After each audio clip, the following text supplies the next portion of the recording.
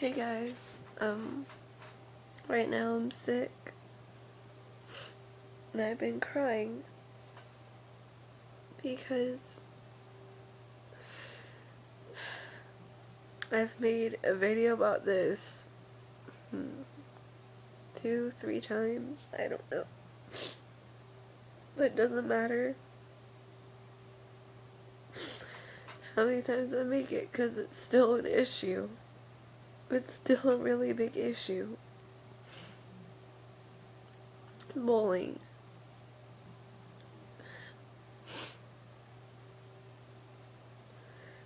On May 8th, my cousin Tori committed suicide. And I know it's been a while. really hasn't been that long at all when you think about it. But just because it kind of has been a little while doesn't mean that the pain has gone away whatsoever. Almost every time I think about it, I cry. because I imagine back to my memories. We were just little kids playing Barbies together.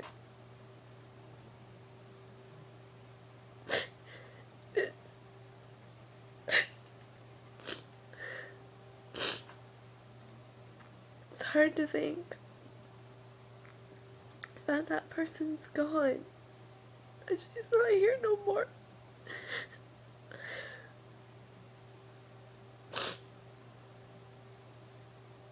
I may not have talked to her in a while before she committed suicide. That doesn't mean that it hurts me any less or that I care any less.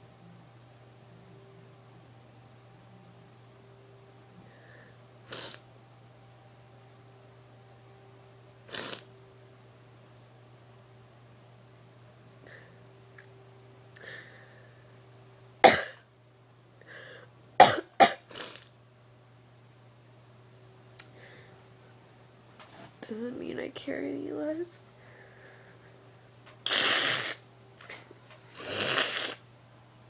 Sorry, that kind of sounds disgusting.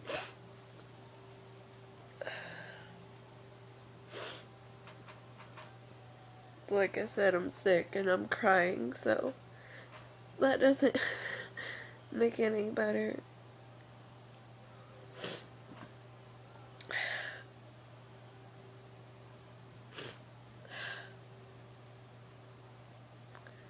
Some people, they just think that this person's different from me. This person's different. This person's different from what I prefer. So I have every right to be harsh to them and harass them and make rude comments about them when I have never truly talked or got to know this person. I'm judging them by looks. Either I'm threatened by them or I just feel entitled to comment on their, their appearance and um, make up rumors about them.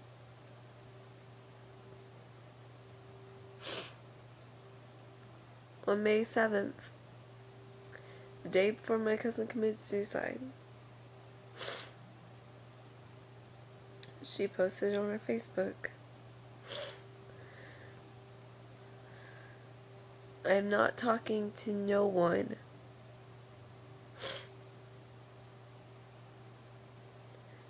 So go ahead, spread that rumor around about me. Keep my name out of your mouth and leave my business to me.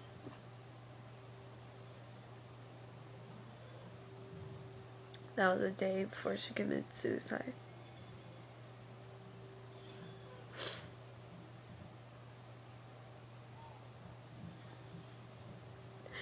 I remember going to my cousin's funeral and you know I hadn't seen her mom in a while but still she recognized me automatically right off the bat. And she hugged me. And we were crying together. And I remember her saying if you ever see anyone being bullied, do something. Stop it. Try to. Do something to help them. Because no parent should have to experience this.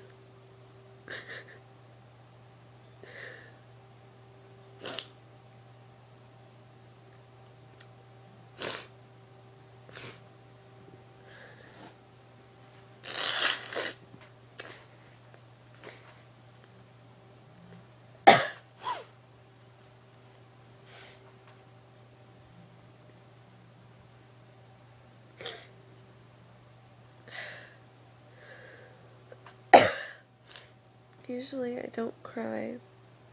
Well, not around other people, at least.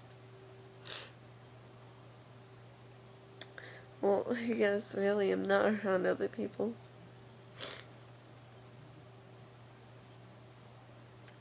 I'm just sitting in my room with something on my mind and my heart.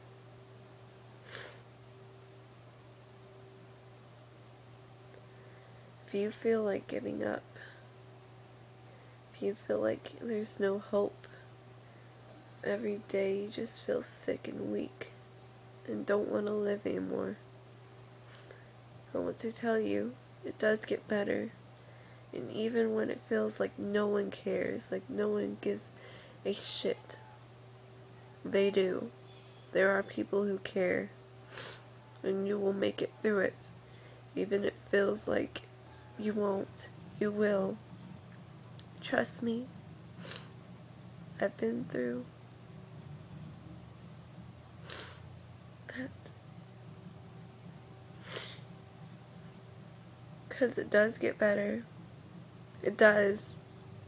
Think it don't, but you will. You just gotta hold out until it does. Don't give up.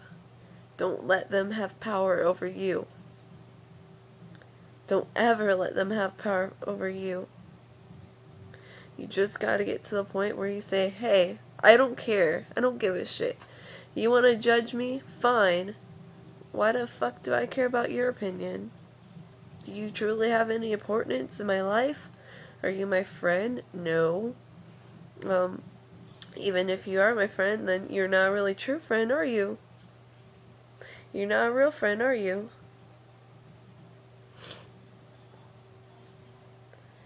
Because sometimes friends that seem like they're forever, they're not. Hate to break to you, but that's how it is.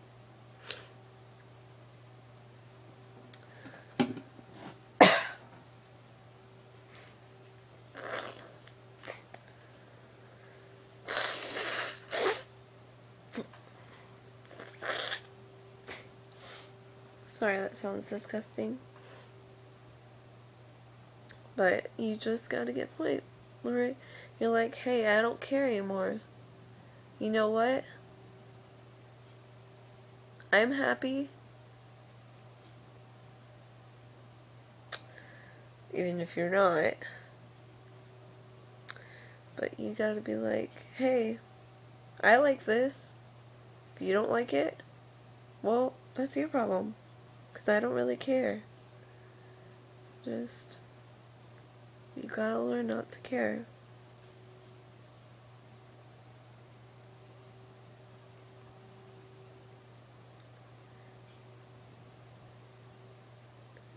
Really, to sum it up in two words.